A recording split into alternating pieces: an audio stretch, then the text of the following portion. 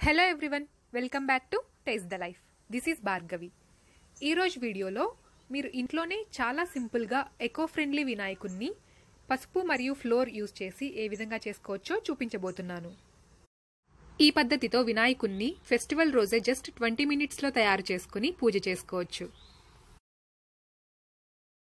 ముందుగా ఒక బౌల్ తీసుకుని అందులో హాఫ్ కప్ పసుపు తీసుకోవాలి. ఇందులోనే హాఫ్ కప్ మైదా ఫ్లోర్ని కూడా యాడ్ చేసుకోవాలి. ఇందులో కొద్దిగా వాటర్ని యాడ్ చేసుకుంటూ ఎలాంటి ఉండలు లేకుండా ఇవన్నీ బాగా కలిసేలాగా కలుపుకోవాలి. తరువాత కొద్ది కొద్దిగా వాటర్ని యాడ్ చేసుకుంటూ మీడియం సాఫ్ట్ చపాతీ పిండిలాగా కలుపుకోవాలి.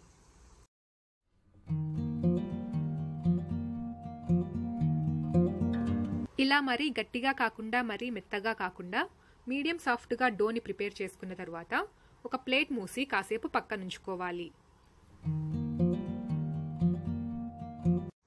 మినిట్స్ తర్వాత మూత తీసి ఈ పిండిని ఒకసారి మళ్ళీ బాగా కలుపుకుని డిఫరెంట్ సైజెస్లో రౌండ్ షేప్స్ చేసి పెట్టుకోవాలి.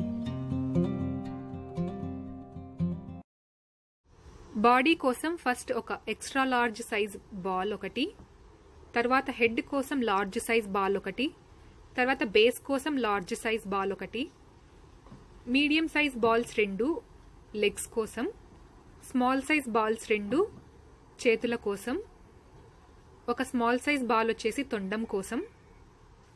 రెండు ఎక్స్ట్రా స్మాల్ సైజ్ బాల్స్ వచ్చేసి చెవుల కోసం. ఫస్ట్ బేస్ కోసం చేసి పెట్టుకున్న ఒక లార్జ్ సైజ్ బాల్ని తీసుకుని ఇలా చేత్తో ప్రెస్ చేసుకోవాలి. మీకు ఇది క్రాక్స్ వస్తుంటే చేతిని లైట్గా వాటర్లో డిప్ చేసుకుని ఇలా షేప్ చేసుకుంటున్నట్లయితే పర్ఫెక్ట్గా వస్తుంది. తరువాత బాడీ కోసం చేసుకున్న డోని తీసుకుని లైట్గా ఓవెల్ షేప్లో షేప్ చేసుకోవాలి. దీనికి ఒక సైడ్ లైట్గా వాటర్తో రబ్ చేసుకుని దీన్ని బేస్కి స్టిక్ చేసుకోవాలి. బాడీ కదలకుండా స్టిఫ్గా అంటుకోవటం కోసం బాడీ బ్యాక్ సైడ్ని ఇలా బేస్కి ఇక్కడ చూపించిన విధంగా రబ్ చేసుకుంటూ స్టిక్ చేసుకోవాలి. తరువాత లెగ్స్ కోసం చేసుకున్న డోని ఇలా పొడవుగా షేప్ చేసుకుని ఈ లెగ్ ఒక సైడ్ బొటన వేలుతో ఇలా లైట్గా పించ్ చేసుకోవాలి. టూ లెగ్స్ని ఇలానే ప్రిపేర్ చేసుకుని వీటిని బాడీకి అంటించుకోవాలి. ఇవి కూడా స్టిఫ్గా ఉండటం కోసం బ్యాక్ సైడ్ బాడీతో వీటిని అటాచ్ చేయాలి. తరువాత చేతుల కోసం తీసి పెట్టుకున్న డోని ఇలా పొడవుగా చేసుకుని ఇది వి షేప్ వచ్చేలాగా ఇలా మిడిల్లో బెండ్ చేసుకోవాలి. రెండు చేతుల్ని ఇలానే ప్రిపేర్ చేసుకుని వీటిని కూడా బాడీకి స్టిక్ చేసుకోవాలి. ఇక్కడ చూపించిన విధంగా ఈ బెండ్ అన్నది కింది సైడ్ వచ్చేలాగా ఇలా బాడీకి పెట్టుకుని ఈ హ్యాండ్ని కూడా బాడీకి బ్యాక్ సైడ్ ఇలా స్టిక్ చేసుకోవాలి. కొద్దిగా చేతికి వాటర్ని అప్లై చేసుకుని ఇలా స్టిక్ చేసుకుంటున్నట్లయితే పర్ఫెక్ట్గా స్టిక్ అవుతుంది. అండ్ ఇది రైట్ హ్యాండ్ హస్తం వచ్చేసి అభయ హస్తం లాగా షేప్ చేసుకుంటున్నాను.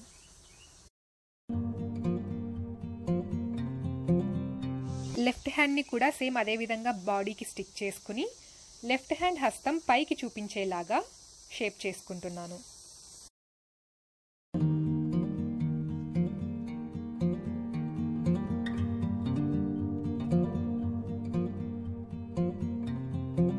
తరువాత వైట్ దారాన్ని మూడు పొరలుగా తీసుకుని ఇలా జంధ్యంలా వేసుకుని బ్యాక్ సైడ్ టై చేసుకుని ఎక్స్ట్రా దారాన్ని కట్ చేసేసుకోవాలి.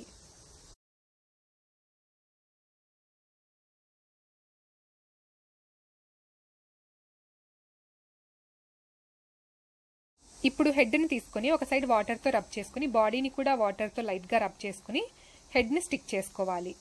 ఈ హెడ్ని కూడా బాడీకి బ్యాక్ సైడ్ ఇలా వాటర్తో లైట్గా రబ్ చేస్తున్నట్లు చేస్తూ స్టిక్ చేసుకోవాలి.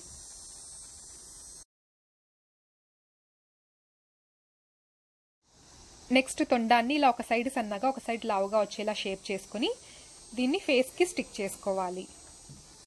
ఇది కూడా చేతికి లైట్గా వాటర్ని అప్లై చేసుకుని ఇలా తొండం అన్నది ఫేస్ నుంచి సపరేట్గా ఉన్నట్లు కాకుండా ఫేస్కి అంటుకున్నట్లుగా ఇలా రబ్ చేసుకోవాలి. అండ్ తొండాన్ని కింద లైట్గా కవ్లా తిప్పి ఉంచాను.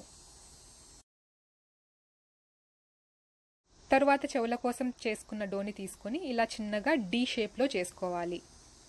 వీటిని కూడా ఫేస్కి టూ సైడ్స్ అటాచ్ చేసుకోవాలి.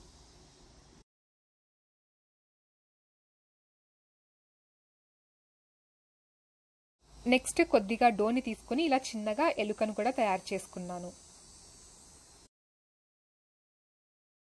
కళ్ళ కోసం రెండు మిరియాలను తీసుకొని ఇలా టూ సైడ్స్ లైట్గా ప్రెస్ చేస్తే సరిపోతుంది. నెక్స్ట్ కొద్దిగా డోని తీసుకుని ఇలా చిన్నగా కిరీటంలా పెట్టుకుంటున్నాను. మీరు మీకు నచ్చిన షేప్లో చేసి పెట్టుకోవచ్చు. నెక్స్ట్ కొద్దిగా డో తీసుకొని ఇలా చిన్న ఉండ్రాయిలా చేసుకుని దాన్ని మైదా పిండిలో డిప్ చేసుకొని ఇలా అరచేతిలో పెట్టుకుంటున్నాను. తర్వాత ఒక టూత్ పిక్తో ఇలా చిన్నగా హైలైట్స్ చేసుకుంటున్నాను. బొట్టు అండ్ తొండంకి కూడా చిన్నగా హైలైట్స్. చేతులకి అలాగే చెవులకు కూడా లైట్గా హైలైట్స్ చేసుకున్నాను.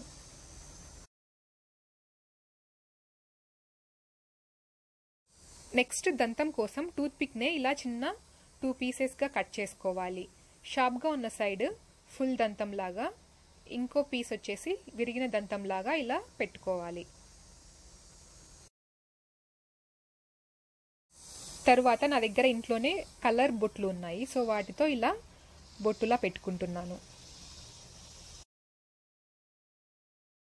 మధ్యలో కుంకుమైనా పెట్టుకోవచ్చు లేదా ఇలా రెడ్ కలర్ బొట్టుతోనే బొట్టులా అయినా పెట్టుకోవచ్చు. అండ్ మీరు మీకు నచ్చినట్లుగా ఇంకా హైలైట్స్ చేసుకోవచ్చు. నేను చిన్నగా బెల్లీ బటన్ కూడా పెట్టాను. అండ్ అలాగే ఎలుకకి చిన్న చెవులు కూడా పెట్టాను. రైట్ హ్యాండ్ మీద ఓం అని రాశాను.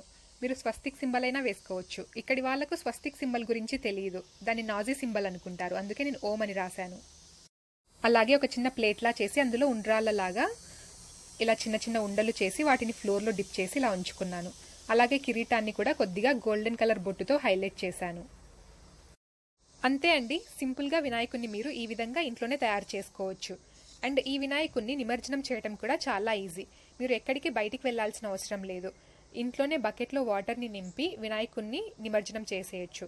పసుపుతో చేసిన వినాయకుడు కాబట్టి ఈజీగా కరిగిపోతుంది కూడా. అండ్ ఆ వాటర్ని చెట్లకు పోసుకోవచ్చు. ఈ వీడియో కనుక మీకు నచ్చినట్లయితే ప్లీజ్ లైక్ చేయండి షేర్ చేయండి కమెంట్ చేయండి. అలాగే సబ్స్క్రైబ్ చేయడం అస్సలు మర్చిపోకండి. Thank you for watching this video